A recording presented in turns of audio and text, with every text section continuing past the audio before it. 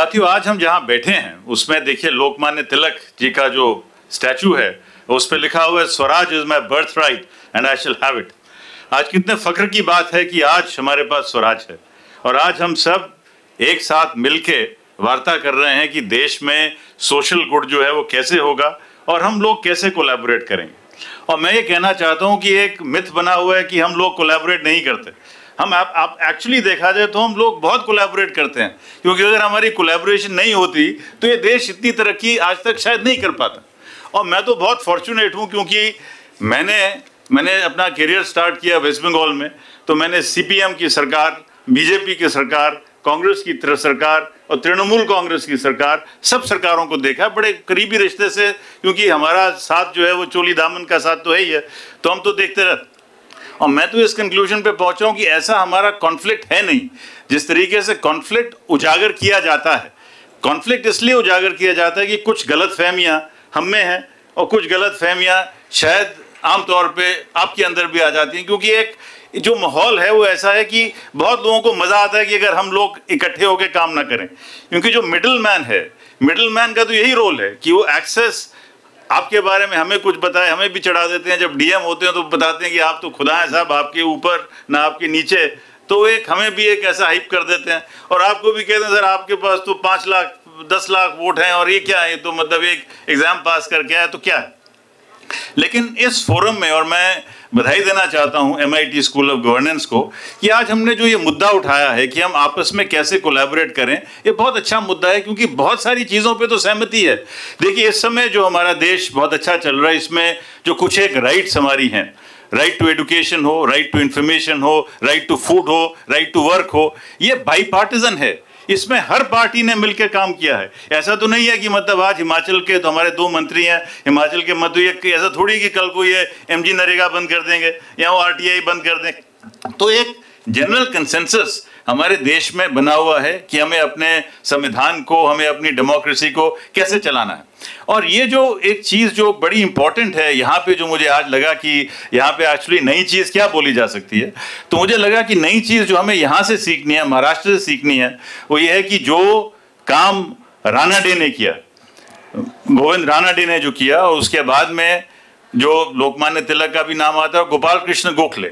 इन्होंने सबसे पहले सर्वेंट्स ऑफ़ इंडिया सोसाइटी शुरू की थी। थोड़ा मैं इतिहास में आपको ले जाता हूँ। तो सर्वेंट्स ऑफ़ इंडिया सोसाइटी जो थी, उसका काम ही ये था कि वो पॉलिटिकल वर्कर्स को प्रोड्यूस करे। ऐसे वर्कर्स को प्रोड्यूस करे जो जब तर्क करें, जब बात करें तो ऐसी बात करें कि वो तर्कहीन ना हो। That is, if we can go in for an empirical analysis, if whatever we say is backed by certain data, if whatever we say is backed by certain empirical evidence, then it is very difficult to counteract. As officers, if we present you certain data and say that, look, this is the implication of what the long-term future is going to be, I'm sure we'll be able to get into a dialogue. उसके बाद उनसे inspiration लेके लाला लाजपत राय जी ने पंजाब में servants of people society शुरू की। आज बड़ा अच्छा लगा कि यहाँ पे प्रधानमंत्रियों के बीच में लाल बहादुर शास्त्री जी की छवि लगी हुई थी। लाल बहादुर शास्त्री जी ने अपना करियर जो था, वो सर्वेंट्स ऑफ़ पीपल सोसाइटी में अस्सी रुपए की नौकरी से उन्होंने शुरू किया था। तो बात यह है कि हमारे स्वाधीनता संग्राम में जो पॉलिटिकल लीडरशिप थी, उसका एक बड़ा क्लियर मैंडेट था कि हम सब पहले शिक्षा ग्रहण करेंगे, हम सब जानेंगे कि देश को आगे कैसे बढ़ाना है। और जितनी भी पार्टीज़ पहले थी हमारे देश में, और मैं कि सब पार्टीज़ की दाद देना चाहता हूँ कि चाहे वो कांग्रेस पार्टी रही हो, कम्युनिस्ट पार्टी रही हो, आरएसएस रही हो, सोशलिस्ट पार्टी रही हो सबने अपने कार्डर्स को ट्रेनिंग में सबने अपने कार्डर्स को एक फलसफे में, या कैसे पॉलिसी बननी चाहिए, उसके ऊपर बहुत ज़्यादा बहुत ज़्यादा ज़ोर दिया। आज के युग में कभी कभी लगता है कि पॉलिटिकल पार्टीज़ और इवेंट मैनेजर्स में ज़्यादा फ़र्क नहीं रहा। और ये एक खेत की बात है कि अब जो पूरे का पूरा जो पॉलिटिकल डिस्कोर्स है कभी कभी हमारा हो जाता है, वो इमीडिएट के ऊपर हो जाता है, लेकिन लॉन्ग टर्म पे नहीं होता और इसी ये बात पे जो आज पहले भी कहा गया कि जो जो जो एक, जो हमारी पोजिशनिंग है, वो ऐसी है कि लेजिस्लेटर्स जो है, उनका पाँच साल का टेन्योर है, हमारा थोड़ा लंबा टेन्योर है। तो इसलिए थोड़ा सा आगे देखने की जो जो एस्पेक्ट होता है, वो हम दोनों के अंदर रहता है। बहुत कुछ ना बोलते हुए और क्योंकि इससे पहले कि चेयरमैन साहब घंटी बजाएँ, खुद ही हमें अपनी घंटी मतलब रोक लेनी चाहिए।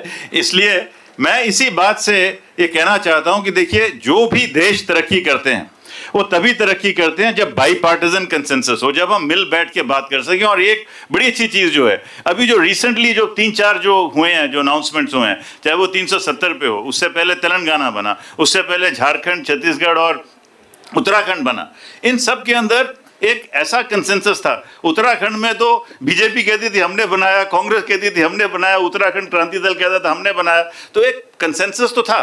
और ये जो कंसेंसस की तरफ़ जब हम बढ़ते हैं तो हम अपने देश को और अच्छा और उजागर, और प्रसिद्ध बना सकते हैं। And it is our joint responsibility and I am very sure कि अगर इस तरीके की कॉन्फ्रेंसेस होती रहेंगी तो हम अपने देश को और उज्जवल, और अच्छा इसका भविष्य बना सकते हैं।